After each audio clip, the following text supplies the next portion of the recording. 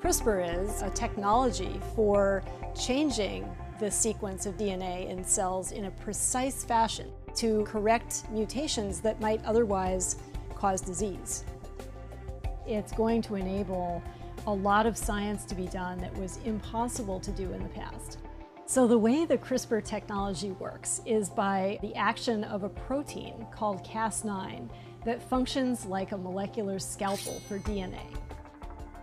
The CRISPR-Cas9 system has an amazing ability to recognize a particular DNA sequence in a cell that may be malfunctioning and then disable it by cutting the DNA.